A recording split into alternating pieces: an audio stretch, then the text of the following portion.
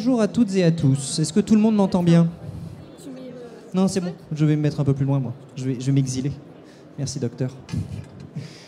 Bien, nous allons continuer cet après-midi. Alors, je vois, je crois que je vois de nouvelles têtes.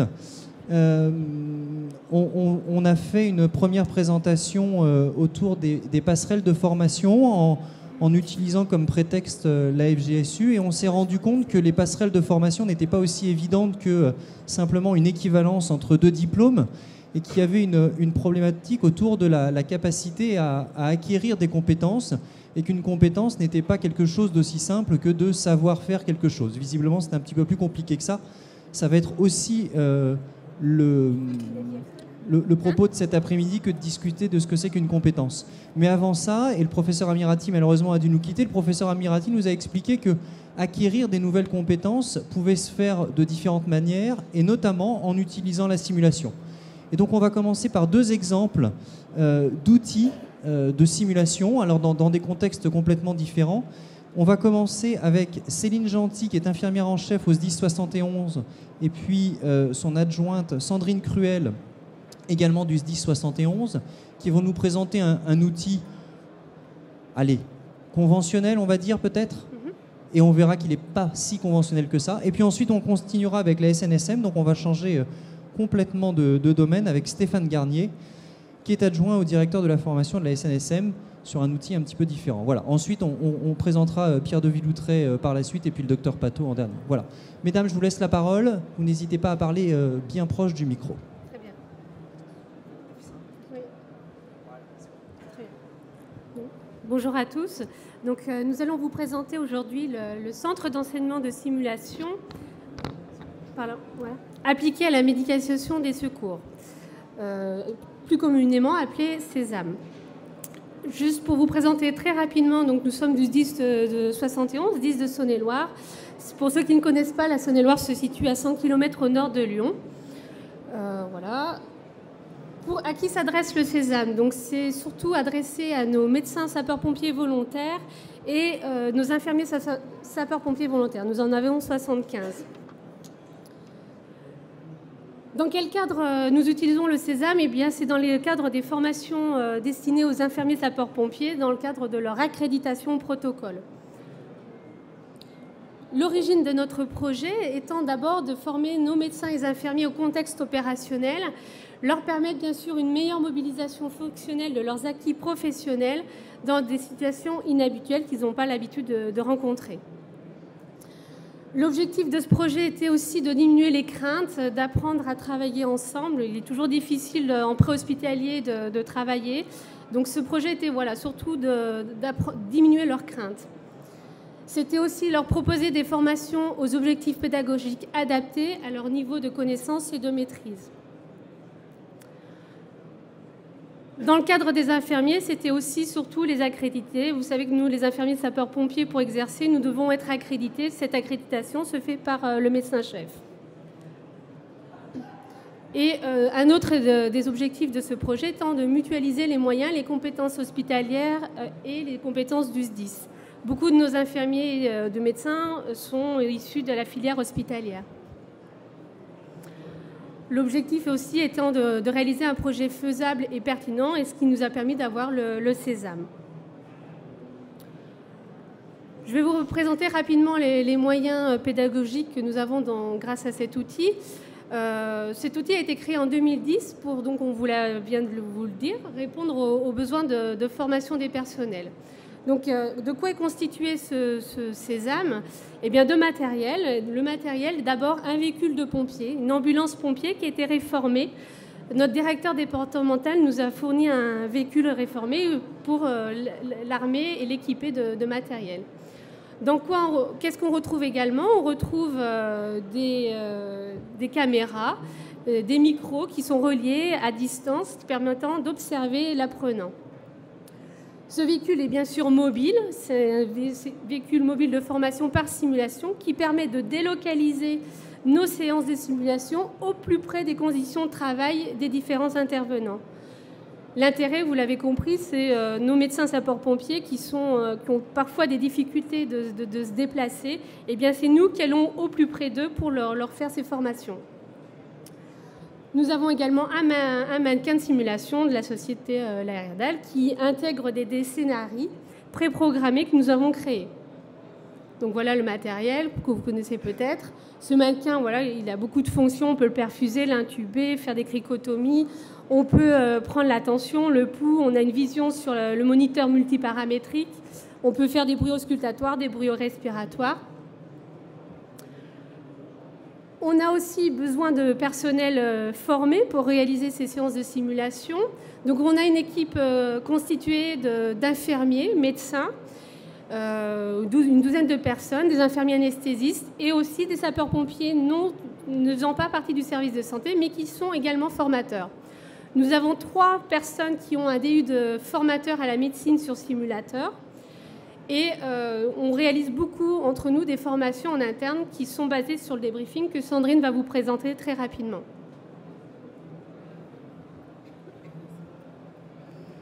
Alors, comment se passent ces séances de simulation?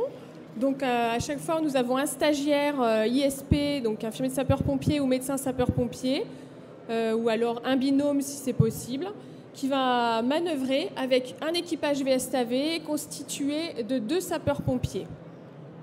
Ce qui est important, c'est que chacun tient toujours son rôle.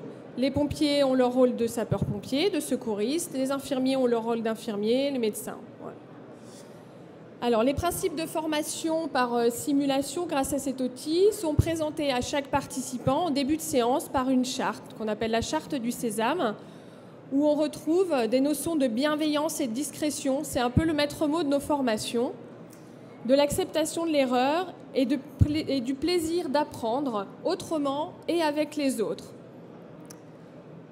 Comment ça se passe? Tout observateur est un participant à la séance de simulation. On a 5 à 10 minutes de briefing où là on présente euh, le matériel de simulation, le mannequin, le VSAV, euh, tout le matériel qui est à l'intérieur. 10 à 15 minutes de simulation, puis ensuite 30 à 40 minutes de débriefing. Voilà, ce débriefing est vraiment un temps qui fait partie de la, séance de simulation, est un temps très important car, on verra qu'au niveau émotionnel, euh, les séances de simulation euh, voilà, touchent particulièrement les participants. Ça nous permet également de démystifier, de faire connaître les contraintes particulières qu'on peut rencontrer au sein des interventions dans les VSAV. On sait que c'est un peu étroit dans les VSAV, on ne sait pas toujours quand on est un nouvel infirmier sapeur-pompier comment s'installer, où est-ce qu'on met son sac, comment on va communiquer avec euh, le chef d'agré, avec les équipiers secouristes? Ça nous permet tout ça. Ça va nous permettre d'observer les capacités de l'apprenant à se positionner et organiser son travail. Surtout, permettre à l'apprenant d'évaluer ses propres compétences et ses limites afin de définir avec lui les objectifs de formation à venir. Et puis enfin, le Sésame il permet également d'observer les actions, les interactions et les réactions des personnels de santé et des équipiers pompiers face à de multiples situations. On va reprendre des situations dans lesquelles ils vont pouvoir se retrouver plus tard sur intervention en général, l'équipe de formation, les scénarios qu'on va mettre en place, c'est des situations qu'on a vécues nous-mêmes en, intervention. Le débriefing, donc c'est une phase très importante. On voit que c'est le temps le plus long sur les phases de simulation. Parce que du coup, euh, ce débriefing, cette simulation va nous entraîner beaucoup d'émotions. Donc il va falloir débriefer tout ça, voir un petit peu les réactions de chaque stagiaire. Donc en fin de débriefing, on va, il va y avoir plusieurs phases. Donc la première phase, où là, on va poser des questions très classiques. Comment vous vous sentez? Quel est votre premier sentiment là quand vous sortez du véhicule Sésame? Comment, comment ça s'est passé? Qu'est-ce que vous pouvez nous donner comme situation? Est-ce que vous avez rencontré des difficultés ou pas? La deuxième phase du débriefing, ça va être la phase d'analyse. Là, on va reprendre la situation, comment ça s'est déroulé, quelle était la phase de départ, qu'est-ce que vous avez fait, qu'est-ce que vous avez mis en place. La phase d'interprétation avec l'analyse des, objectifs, quels étaient-ils, est-ce qu'ils ont été atteints ou pas, et ça permet d'écrire et d'expliquer les écarts qu'il peut y avoir entre ce que le stagiaire a fait, les objectifs qu'on s'était fixés. Pendant ce débriefing, tout le monde participe. Il n'y a pas juste le stagiaire ISP ou MSP. Les équipiers pompiers, bien sûr, participent également à ce débriefing et sont une, aide, en tout cas, au débriefing de la situation. On va ensuite retrouver une phase de synthèse, où là, on va reprendre les objectifs et être vraiment dans le renforcement positif. On n'est pas là pour euh, enfoncer les gens, pour leur dire qu'ils ont mal fait, qu'ils ont mal travaillé. On va leur faire, ça sera une autocritique, on va leur faire amener à eux comment ils se sont sentis, qu'est-ce qui n'a pas été, pourquoi ça n'a pas été, et la prochaine fois, qu'est-ce qu'ils peuvent peut-être mettre en place pour que ça se passe mieux. Qu'est-ce qu'ils ont appris des capacités techniques et non techniques? Voilà deux, trois exemples de questions qu'on peut poser lors des débriefings. Et puis la séance de débriefing, eh ben, elle se termine par une remise de documents s'il y a besoin, avec des recommandations scientifiques si on a abordé euh, certains sujets, l'évaluation de la séance et le remerciement des participants, bien sûr. Alors, un petit topo rapide sur les formations qu'on a pu effectuer en 2014 au SDIS de Saône-et-Loire. Donc, une dizaine de formations pour le service de santé au sein du SDIS pour nos ISP et MSP. Un agrément DPC depuis fin 2014. La participation à la formation initiale, la formation adaptée à l'emploi des infirmiers SMUR euh, du centre hospitalier de Mâcon avec qui on travaille vraiment en collaboration.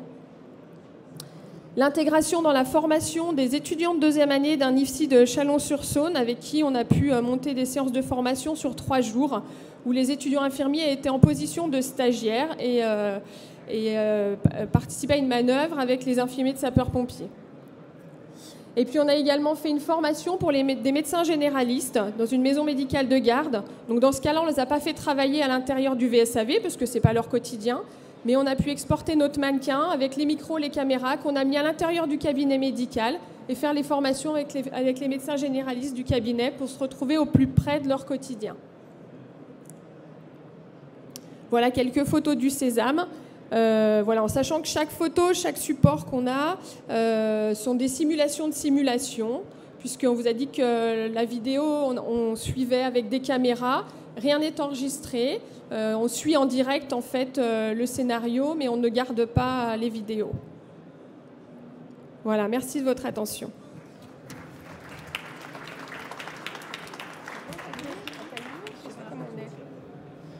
Ok. Je vous propose qu'on enchaîne tout de suite sur euh, l'outil que va nous présenter la SNSM. Et puis s'il y a des questions euh, sur ces deux outils euh, par la suite, vous pourrez les poser avant qu'on passe à autre chose.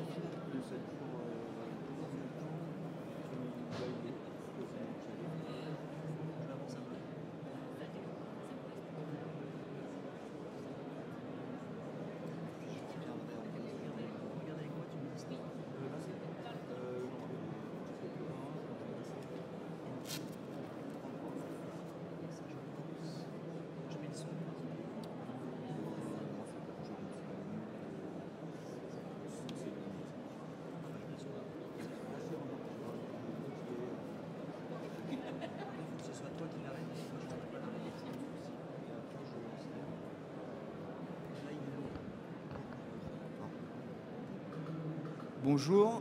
En avant, de mon propos, euh, une petite séquence vidéo qui va justement vous présenter le, centre de simulation euh, à la navigation que la SNSM a, mis en place au niveau de son pôle national de formation qui est situé à Saint-Nazaire.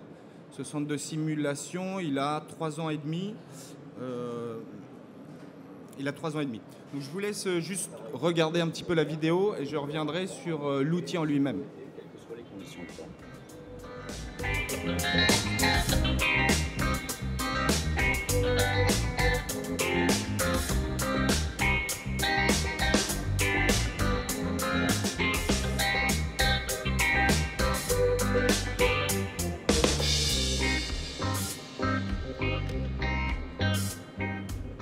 Le centre de simulation est l'outil idéal pour former nos sauveteurs. À la fois, il nous permet de reproduire des situations en maîtrisant parfaitement l'environnement, que ce soit les conditions météo, de visibilité ou les conditions de mer. Il nous permet également de simuler des avaries ou de travailler en mode dégradé pour voir les réactions de l'équipage face à différents dangers qui peuvent se présenter.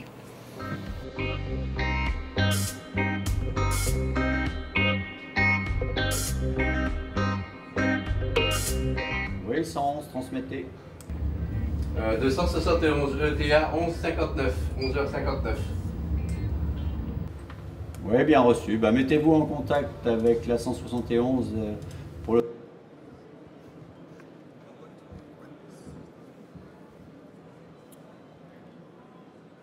Alors, cette petite vidéo, c'était pour essayer de vous montrer euh, un outil qui est assez visuel et. et hum, pardon.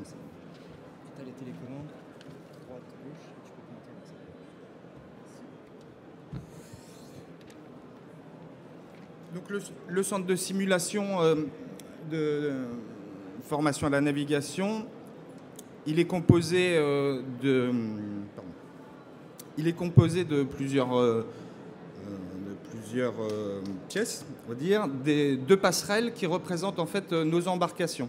Alors une première passerelle qui est réellement à l'échelle 1 de nos bateaux et une seconde qui est simplifiée.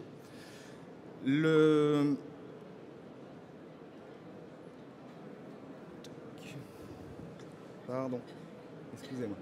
Une salle de débriefing où on peut projeter les éléments de la simulation qu'on aura enregistrés ou les préparer en amont. La passerelle à, l'échelle 1 qui représente euh, une vedette euh, qui fait à peu près euh, 13 mètres et euh, qui, est, euh, qui correspond à des vedettes première classe, des, bateaux qui vont à une vingtaine euh, de nœuds. Pardon. Un- une seconde passerelle qui est plus simplifiée, où là c'est trois écrans plasma et où on retrouve euh, les outils qui, qui sont installés à bord de nos embarcations, à la fois pour euh, mettre en œuvre l'embarcation, mais à la fois des, des radars, des systèmes de communication.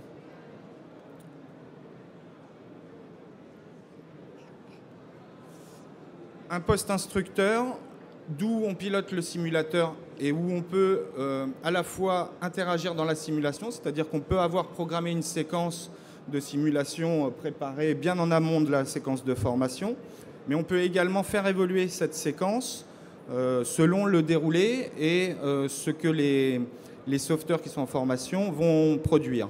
On peut changer la météo instantanément par, par exemple.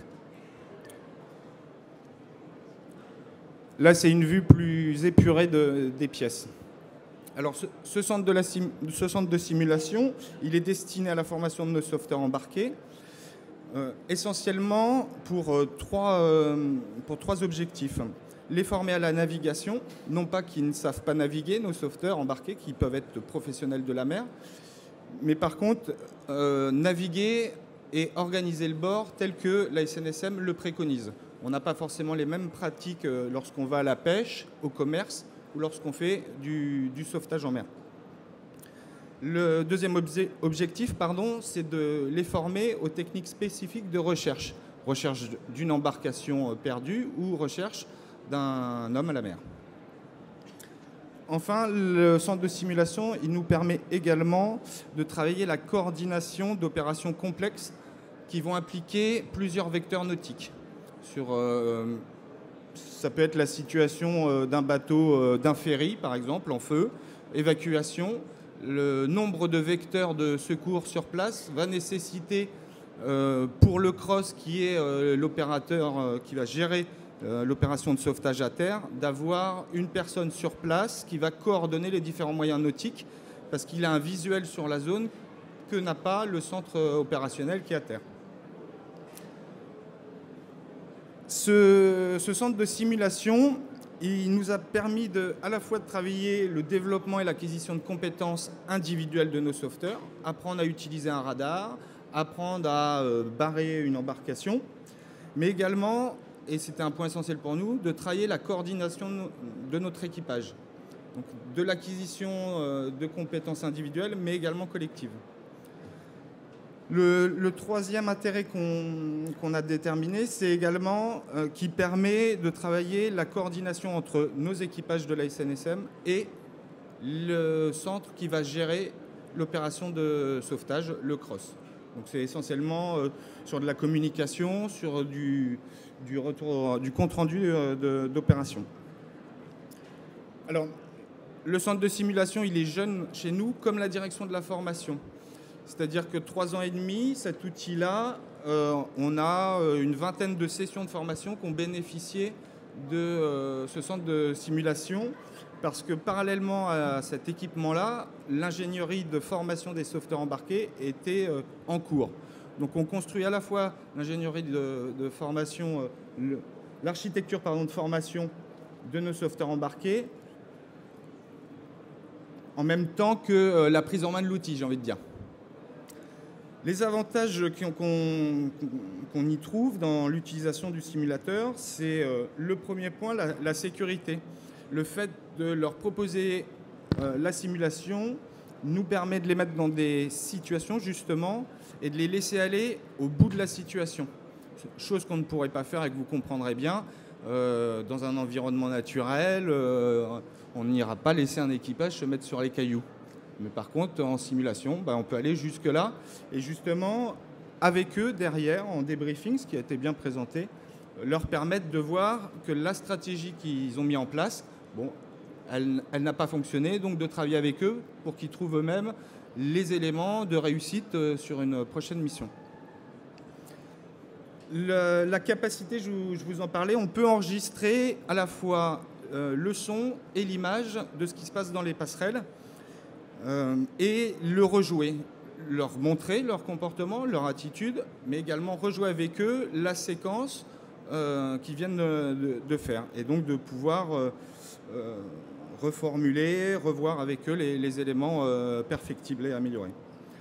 La segmentation des phases, c'est un petit peu lié à la sécurité. C'est que pour travailler certaines séquences de, l'opération de sauvetage, si on devait le, mettre en œuvre avec des moyens réels, on peut avoir des, temps de transfert en mer pour arriver sur la zone qui va nous permettre de jouer la séquence qui sont très longs. Là, la simulation nous permet de les mettre à 20 euh, 000 euh, au large de la côte en deux secondes. Donc c'est aussi euh, un gain de temps. Nos sauveteurs embarqués sont tous bénévoles, donc les séquences de formation et les temps de formation sont réduits au maximum par rapport à leur disponibilité. Donc il faut qu'on puisse durant 3-4 euh, jours, euh, leur proposer des situations variées, riches, sans avoir cette contrainte de déplacement. Pardon. La simulation nous permet aussi de faire varier les, paramètres environnementaux qui sont dans l'activité de sauvetage en, mer essentielle. C'est l'état de la mer, c'est euh, le temps qui change, c'est l'absence de possibilité de communiquer parce que les outils tombent en panne, ça arrive. Donc on peut jouer euh, toutes, ces situations-là et influer directement ou en préparation sur les paramètres environnementaux. Ça nous permet également une certaine progressivité des, situations euh, que l'on peut adapter au public euh, qui vient en formation. On peut avoir des groupes avec lesquels on va devoir reprendre des éléments de base et au contraire avec d'autres aller beaucoup plus loin et la simulation euh, nous permet de rapidement euh, euh, basculer. Néanmoins, la simulation ne fait pas tout, et c'est pour ça que le petit film se terminait par l'image d'une vedette qui sort. Les séquences de formation au centre de simulation sont toujours accompagnées d'une mise en situation réelle. Forme des, des, des sauveteurs embarqués qui viennent par équipe de 12 à peu près, et il y en aura 6 qui seront en simulation et 6 en embarcation réelle, pour qu'il y ait une euh, réintroduction rapide de ce qu'ils ont vu au centre de simulation dans l'environnement. Réel pour le coup. les limites de la simulation, c'est l'interaction entre ce qui se passe dans, le bateau pour la conduite de la mission et ce qui se passe sur le pont le centre de simulation euh, que je vous ai présenté là ne permet pas de travailler la récupération d'un euh, homme à la mer. Donc, elle ne permet pas de travailler non plus l'interaction entre euh, le patron qui est à l'intérieur de, la cabine et les membres de son équipage qui sont en train de réaliser la récupération. Donc, ça ces petites limites-là. le temps de prise en main de l'outil aussi a été une contrainte qu'on on avait peut-être sous-estimé au tout début des formations.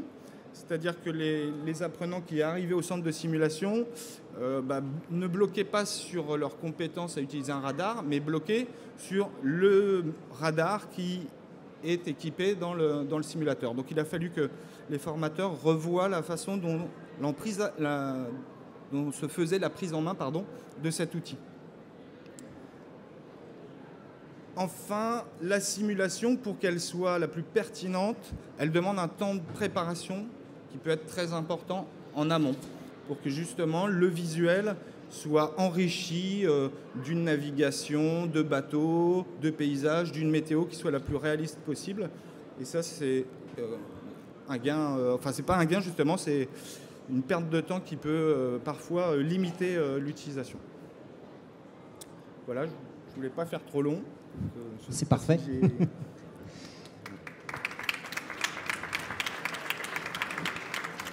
Alors merci à tous les trois d'abord euh, pour la présentation de ces deux outils euh, très différents, donc avec un faux bateau d'une part et puis une fausse ambulance d'autre part. On l'a compris, vous l'avez présenté, je vais le résumer peut-être euh, et puis vous me direz si je me trompe. Ces deux outils vous ont ouvert un champ de perspective pédagogique plus important en renforçant l'immersion et les capacités d'immersion dans des environnements que vous maîtrisiez. Alors maîtrise de la météo, maîtrise de la pluie, de la grosseur des vagues ou euh, maîtrise du rythme cardiaque ou de la capacité d'un patient à s'arrêter de respirer euh, vraiment longtemps sur demande. Est-ce que d'abord il y a des questions ou est-ce qu'on continue sur autre chose? Eh on va passer alors d'un outil très immersif à un outil qui, moi, me paraît, Pierre de Villoutré, vous me direz si je me trompe, beaucoup moins immersif, qui sont euh, les apports de la formation ouverte à distance. Donc là, on n'est plus visiblement à l'intérieur de quelque chose. On semblerait être loin du formateur, euh, peut-être même tout seul derrière son écran. Vous allez nous, parler un petit peu de tout ça.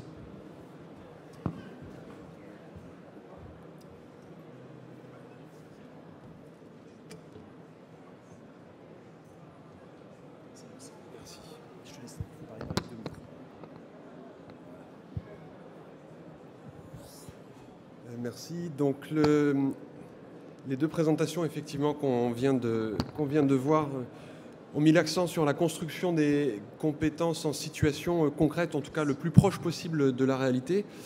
Mais la construction des compétences ne peut pas euh, se faire si auparavant il n'y a pas eu une intégration d'un certain nombre de ressources. Hein. Le professeur Amirati tout à l'heure nous disait que la compétence était l'aptitude à mobiliser en situation des savoirs, des savoir-faire, des savoir-être. Et ces ressources, quelque part, il faut bien les apporter à un moment donné. Euh, l'un des outils qui euh, permet d'apporter euh, ces savoirs, savoir-faire, savoir-être, ces ressources différentes est la formation ouverte accessible à distance. Avant d'aborder les avantages et les limites, un petit, peu un petit point de contexte, puisque dans les formations de sécurité civile, c'est, cette possibilité de faire de la FOAD, de la formation ouverte accessible à distance, est apparue assez récemment. Hein. Le premier arrêté qui le, qui le mentionne, c'est l'arrêté de 2011 sur le PSC1 qui mentionne que l'unité d'enseignement peut faire appel à des outils de formation ouvertes, accessibles à distance, permettant de minorer la durée de formation en présentiel. Un bémol est précisé, c'est que ces outils ne peuvent pas se substituer à une phase de formation en présentiel permettant la validation pratique des gestes élémentaires de secours. On a vu euh, ce même texte apparaître dans d'autres unités d'enseignement de euh, formation de sécurité civile, alors, pardon pour les, abréviations, c'est les unités d'enseignement de pédagogie appliquée à l'emploi de formateurs, de formateurs de formateurs, de conception, encadrement d'une action de formation, les anciens instructeurs de sauvetage et de surveillance aquatique, et tout récemment des premiers secours en équipe. Avec toujours cette, même mention que ces outils, euh, l'usage de ces outils est limité aux séquences d'apport de connaissances. Euh, il est bien naturel qu'ils ne remplacent pas la construction en situation concrète euh, des euh, compétences. Alors, ce n'est pas que en sécurité civile hein, qu'on voit apparaître ces, euh, ces outils. là, j'ai cité un exemple hein, d'un arrêté du ministère de l'Enseignement supérieur et de la Recherche sur le, les formations qui peuvent conduire à la délivrance des diplômes nationaux de licence, licence professionnelle, master, qui également mentionne l'usage du numérique qui peut permettre une pédagogie active, réactive, interactive entre étudiants et entre étudiants et équipes pédagogiques. Et ce faisant, on peut utiliser lors de la formation des outils qui permettent l'alternance d'activités pédagogiques en présentiel et à distance, ou alors complètement à distance en fonction du public concerné. Donc cette euh, évolution, on la, voit dans le domaine des formations de sécurité civile, dans d'autres domaines, euh, j'ai envie de dire, euh, très largement aujourd'hui, on voit apparaître ces outils. Alors avant de voir un peu les conséquences pédagogiques que ça peut avoir, rapidement, quels sont les bénéfices et les limites qu'on peut essentiellement retirer de ces outils, tant pour l'apprenant que pour l'organisme de formation? Alors pour l'apprenant, c'est euh, assez rapide de voir que la liberté, la souplesse offerte dans l'apprentissage en termes de temps, d'espace, euh, de parcours de formation, de ressources disponibles euh, est bien supérieure dans le cas des FOAD que dans le cas d'une formation uniquement présentielle où finalement l'enseignant, le formateur voilà, est, maître complètement de l'organisation de la formation. Donc cet avantage-là s'ajoute à l'individualisation de la formation puisque grâce aux ressources que chaque apprenant va pouvoir trouver en ligne, euh, grâce également aux personnes ressources qui vont être disponibles, eh ben, on va avoir une relation de formation qui va pouvoir être quasiment individualisée. Euh, certains, certains textes parlent même de quasiment préceptorat dans le cadre de la FOAD. Pour l'organisme, la démultiplication de la formation, hein, avec un temps présentiel plus court, c'était ce qui était cité dans, le, dans les arrêtés que je vous ai montré tout à l'heure. Euh, paraît un avantage hein, pour l'organisme. Le, le, PSC en 7 heures, bah, la durée va être minorée grâce à l'outil euh, FOAD. Et de ce fait, l'augmentation du public potentiel. Et s'agissant du PSC1, c'est bien euh, un objectif, en tout cas une volonté de santé publique, que d'augmenter le nombre de personnes formées aux gestes élémentaires de secours. Des limites quand même, c'est bah, pour la FOAD, bah, l'outil informatique, tant d'un point de vue matériel que d'un point de vue aptitude à utiliser cet outil informatique représente une, certaine limite. Également, on voit que dans la formation à distance, les communications, aussi bien horizontales entre apprenants que verticales entre apprenants et équipes pédagogiques, euh, sont largement dégradées et il va falloir essayer de mettre en œuvre des solutions pour parer euh, à cette, dégradation. En tout cas, ça euh, demandera plus d'efforts de la part de, l'apprenant et ça pourra se traduire même par des abandons de formation qui seront peut-être plus nombreux que dans le cas de formation présentielle. Difficulté organisationnelle, c'est entre les deux. C'est aussi bien une limite pour l'apprenant que pour l'organisme pour convertir la partie FOAD en validation, en tout cas en construction et validation concrète des compétences. passer le cap de la FOAD pour s'inscrire à la suite de la formation en présentiel, ben on constate qu'il y a un, gap, un, fossé entre les deux euh, que certains n'arrivent pas à, franchir. S'imaginer que la formation à distance va permettre de réduire les coûts de formation euh, semble euh, un peu rapide comme raccourci, puisque le travail de formation, de conception d'une formation à distance de qualité euh, est très important.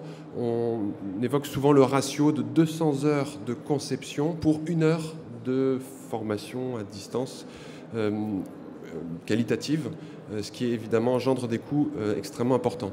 Également, gestion, suivi des apprenants de la part de l'organisme. Hein, quand quand on inscrit des, apprenants sur une formation à distance, où est-ce qu'ils en sont dans leur parcours, est-ce qu'ils progressent, est-ce qu'ils n'avancent pas. Euh, ça demande du, travail de suivi pour les tuteurs ou l'équipe pédagogique. Un dernier point sur lequel je voulais euh, m'attarder, c'était la conduite de changement pour les formateurs et essentiellement pour les formateurs de premier secours hein, en sécurité civile. On a déjà commencé à leur parler de la FOAD. Euh, à la protection civile, un, outil à distance euh, a, été euh, initié et sera prochainement finalisé. Mais on a déjà commencé à préparer nos formateurs en leur disant, bah voilà, peut-être que vous allez prochainement avoir en formation des gens qui auront suivi une partie de la formation en ligne. Et donc finalement, vous ne les verrez plus pour la totalité de la formation. Hein, les apprenants vont être face à vous pour réaliser les ateliers d'apprentissage pratique, pour les mises en situation. Et nos formateurs réagissent souvent de manière un peu voilà, ils sont un peu réfractaires à ça en se disant bah, finalement on n'est plus formateur, euh, on va devenir contrôleur des travaux finis, on va devenir. Alors que euh, accompagner cette, cette, conduite de changement, ça passe aussi par la compréhension et la perception du fait que le formateur, lorsqu'il réalise une évaluation formative, il est au cœur de son métier de formateur. Hein. L'évaluation formative, c'est le message qu'on tente de, de, leur faire passer, c'est vraiment que ça sert à former et qu'ils sont vraiment euh, lorsqu'ils réalisent l'évaluation formative d'un atelier d'apprentissage du geste ou d'un cas concret, ils sont au cœur de, leur métier. Et je pense que les, deux outils qu'on a vus précédemment l'illustrent bien. Néanmoins, cette conduite de, changement ne va pas de soi pour nos formateurs. D'un point de vue pédagogique, on glisse petit à petit entre une conception d'un enseignement euh, linéaire dont le formateur finalement est le seul maître, euh, séquentiel, planifié, avec un rythme identique pour tout le monde, avec des plannings euh, imposés par l'enseignement, l'enseignant, 8h30, 17h, avec une pause d'un quart d'heure on glisse de cette conception vers une conception euh, beaucoup plus euh, personnelle qui vise des, processus, qui valorise des processus d'apprentissage personnalisés et donc plus ouverts et qui développe l'autonomie. Euh, le côté participatif, j'insiste encore là-dessus, c'est pour essayer de, de pallier la dégradation des communications horizontales et verticales, le côté participatif, la construction commune euh, des, compétences, les échanges, les interactions qu'ils peuvent avoir euh, doivent être absolument maintenus dans le cadre des formations à distance. Et euh, en cherchant un peu sur Internet, j'ai trouvé l'apparition de ce terme, le terme de connectivisme. Alors en, pédagogie, on parlait de d'approche par compétence, de constructivisme. Et ce terme de, connectivisme euh, met bien en lumière le fait que euh, finalement l'apprentissage va de plus en plus être vu comme un processus de création, de connexion entre des ressources. Et la notion d'approche par compétence, on a des ressources, encore faut-il savoir les utiliser, les mobiliser en situation, et pour ça avoir créé des connexions plus ou moins fortes en fonction de la pertinence de ces ressources. Euh, mais la connexion entre ces différentes ressources et le développement de réseaux, euh, qui traduit aussi une perpétuelle évolution hein, de, ces ressources, euh, traduit bien le, voilà, l'apport de la FOAD en termes pédagogiques. Et quelques exemples qu'on peut voir dans les, formations ouvertes accessibles à distance sont les blogs, les flux de données, les wikis, donc les encyclopédies en ligne collaboratives, les réseaux sociaux qui se développent également beaucoup, Internet. Finalement, des outils qui favorisent l'analyse, la sélection des informations pertinentes, donc l'autonomie, quelque part l'auto-évaluation. Et donc ça, ce sont des, termes qui, en termes de, construction de compétences, euh, nous semblent importants. Finalement, ces outils euh, bah, rejoignent quelque part la construction de, compétences. Quel est l'avenir euh, Et ce sera la, dernière diapositive avant la conclusion. Peut-être que certains d'entre vous ont entendu parler des MOOC, les Massive Online open course, pardon pour l'accent, les cours en ligne euh, les, ouverts à tous et ouverts massivement à tous. Alors c'est quelques exemples de, MOOC francophones. Euh, il y a essentiellement trois plateformes hein, qui, rassemblent des MOOC euh, francophones et qui se développent de manière exponentielle depuis un an, un an et demi. Euh, dont la, première, celle qui est en haut à droite, hein, qui est euh, réalisée en collaboration avec le ministère de l'Enseignement supérieur, justement, et qui vous présente en fait un certain nombre de cours en ligne qui sont euh, accessibles gratuitement, ouverts à tous, qui peuvent rassembler plusieurs milliers, voire dizaines de milliers d'apprenants. C'est gratuit, l'inscription est très simple, en quelques clics. C'est des cours qui sont qualitatifs puisque un grand nombre d'établissements d'enseignement supérieur euh, à contribuer à leur, à leur conception. Et le, petit logo qui, euh, le petit slogan qui est en bas, euh, des cours clairs et passionnants pour apprendre le métier que vous voulez faire. Est-ce que c'est l'avenir? Je ne sais pas. Il y a certains auteurs qui parlent déjà d'un effet un peu d'aubaine, un effet d'un pic et puis qui va se dégrader. Je sais pas, enfin, je ne vais pas me lancer dans des prédictions. Je voudrais conclure sur un, texte, une réflexion d'un philosophe qui est aussi euh, académicien, euh, qui a écrit un article euh, récemment en disant que transmettre le savoir, le voilà partout sur la toile, disponible, objectivé. Le transmettre à tous, désormais, tout le savoir est accessible à tous. Comment le transmettre? Voilà, c'est fait, en moins de temps qu'il ne faut pour le dire. Il continue en disant Cette tête vient de muter encore une fois, parce qu'en fait, il disait au moment de l'invention de l'imprimerie, euh, la façon dont la mémoire fonctionne a complètement été révolutionnée. Et avec l'arrivée des technologies numériques, c'est une véritable révolution. Et il dit, cette tête vient de muter encore une fois, la pédagogie change totalement avec les nouvelles technologies. Tout est à refaire, tout reste à réinventer. C'est Michel Serres en 2011.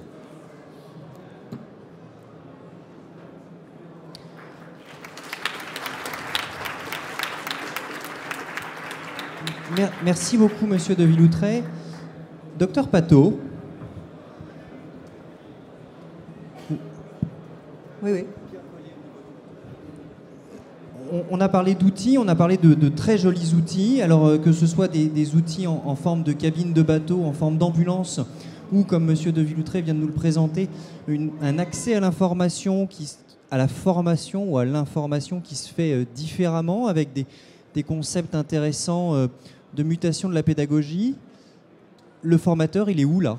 Le, formateur, il doit réapprendre à apprendre alors, parce que visiblement, et, ça a été dit, moi j'ai entendu des choses très intéressantes, j'ai entendu euh, Pierre de Villoutré le souligner, euh, l'inquiétude de, certains formateurs euh, qui se disent pouvoir devenir contrôleur des travaux finis. Alors comme le dit Pierre de Villoutré d'ailleurs, c'est aussi de la formation, c'est aussi de la pédagogie que de faire des évaluations formatives.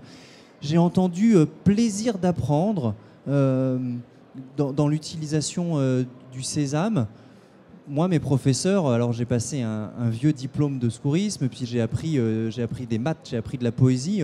Mes formateurs n'ont pas vraiment développé le plaisir d'apprendre. Enfin, ça s'est pas vraiment senti en tous les cas. Hein. C'était pas visiblement ça qui, les, qui les drivait. Euh, ça change? Ça change comment? Euh, Est-ce que ça change? Alors oui, je crois que la clé est là. C'est que ça va changer le formateur. Je m'entends? Je pense que vous m'entendez? Ça va vraiment changer euh, la, posture du formateur, parce qu'on a entendu beaucoup de choses depuis, euh, depuis tout à l'heure, depuis le professeur Amirati, et tout tourne autour de cette définition de la compétence. Qu'est-ce que la compétence? Et on l'a bien compris, la compétence, c'est pas du savoir. C'est loin d'être du savoir, c'est loin d'être du savoir-faire, c'est loin d'être du savoir-être. C'est vraiment utiliser cet ensemble-là. Et je rajouterais même quelque chose de, primordial, excuse-moi, ça sera peut-être plus facile pour ceux du fond. Je rajouterais même quelque chose de primordial qui est aussi, et le professeur Amirati en avait parlé, euh, la capacité de gérer son émotion. Elle en avait parlé, et je crois que ça aussi, ça rentre peu dans, dans ce qu'on a entendu, on l'a un petit peu entendu tout à l'heure avec le sésame. Il y a aussi cette capacité-là. Alors comment nos formateurs vont pouvoir gérer cela? Je crois que c'est changer euh, de, façon de voir la formation. On n'est plus sur la formation où je transmets mon savoir. Monsieur de Villoutré nous l'a signalé. Le savoir, il est accessible à tous, il est accessible partout, il est accessible comme on veut, il est en libre service maintenant. Le formateur ne va plus transmettre son savoir. D'ailleurs, peut-on transmettre son savoir? Est-ce que je peux vous transmettre mon savoir de médecin quand vous allez faire quelque chose quelque part? Non. Le savoir, il se construit par soi-même et je crois que nos intervenants l'ont déjà bien signalé. Toute, toute euh, je dirais l'objectif du formateur de demain, ce sera plutôt de savoir comment est-ce que je vais permettre à l'autre de combiner ce qu'il sait, de combiner ses ressources. Et c'est ce qu'on voit dans les simulateurs. Et, les grands précurseurs ont été tous ceux qui avaient besoin de sécurité. La SNSM nous l'a rappelé, on ne va pas se mettre en, danger pour former. Euh, rappelons-nous, les grands précurseurs, c'était l'EDF, c'était euh, c'était les centrales nucléaires. On ne pouvait pas euh, planter une centrale nucléaire. Les grands précurseurs, c'était l'aviation civile, on ne pouvait pas planter un Boeing. Donc on a fait des simulateurs pour justement permettre de pousser les autres à l'erreur et de voir pourquoi on était allé à l'erreur. Or, aller voir pourquoi on était à l'erreur, c'est savoir comment on n'a pas pu, finalement, combiner les ressources qu'on nous avait données. Comment est-ce que, alors qu'on a appris plein de choses, parce que les pilotes de ligne, parce que les gens ont plein de connaissances, comment est-ce qu'à un moment donné, effectivement, la compétence n'était pas là pour pouvoir permettre de résoudre le problème en situation professionnelle, comme nous l'a précisé Madame Amirati tout à l'heure. Donc toute cette approche par les compétences, toute cette pédagogie nouvelle qu'on propose repose là-dessus. C'est comme moi, formateur, je ne vais pas transmettre mon savoir, mais je vais permettre à l'autre de combiner toutes ses ressources, de combiner son savoir, de combiner son émotion même, puisqu'en certaines situations c'est compliqué. Parler devant cette salle génère de l'émotion qui n'est pas forcément facile à gérer à ce moment-là. Donc comment est-ce que je peux amener par exemple un autre orateur à ma place à parler face de vous avec le stress qu'il peut y avoir. Et eh bien c'est ça, c'est ça le formateur de demain. Ce n'est plus suivre un scénario pédagogique où en 10 minutes, je dois accéder à il doit savoir faire le geste et il faut qu'il le fasse sur le terrain. Ce n'est pas transmettre mon savoir, les 30 000 pages. Et vous preniez l'exemple des mathématiques tout à l'heure, je trouve qu'il est particulièrement euh, passionnant parce qu'on a tous appris des théorèmes, on a tous appris tout un tas de, de choses. Et quand on était devant notre problème de maths, bon sang, tous ces théorèmes qu'on connaissait par cœur, comment arrivions-nous à les combiner? On ne savait pas faire. On savait pas faire pour beaucoup. Certains savaient faire très spontanément, parce qu'ils avaient réussi à combiner ça. Donc tout le boulot du, futur formateur va être justement là. Sur cette approche par les compétences, tout notre travail va être de faire passer nos formateurs, et vous l'avez bien dit, c'est un gros frein, euh, je pense, mais partout, hein. chez nous c'est pareil, c'est un gros frein, donc de les faire passer à je transmets, à je permets à l'autre de faire. Le simulateur est là pour ça. Le moment du débriefing, excuse-moi, je te je te cache. Mais le moment du debriefing est fondamental pour ça, c'est débriefer, analyser, permettre à l'autre de comprendre ce qu'il a bloqué pour travailler sur ce point de blocage. Et du coup, on comprend mieux qu'effectivement, nous allons aller vers une individualisation de la formation, puisque ce qui me gêne moi n'est pas ce qui vous gêne vous. ou ce qui gêne le collègue. Et donc, le formateur va devoir trouver là où ça bloque. Et le formateur va devoir permettre à l'autre de passer ce blocage. C'est ça l'approche par les compétences. Et c'est ça la pédagogie de demain. Notre évolution entre le 19e où un prof, une salle, vous prenez le savoir, vous le recrachez, après vous en faites ce que vous voulez.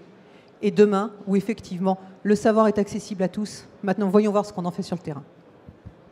Très bien, merci beaucoup. On va, on va enchaîner. Alors, sauf s'il y a des questions. Très bien. On était en train de parler de changement. On va continuer à parler de changement. Je vais remercier euh, les intervenants qui quittent cette table ronde. Donc, euh, la SNSM et Plus 10 71. Merci beaucoup. Euh, je vais accueillir le commandant Fabien Testa qui est là-bas au fond, et puis Christophe Talmet de la Croix-Rouge française. Et on va parler de la réforme. Alors, je vais changer un peu le titre de la table ronde, mais le, contenu va, rester le même.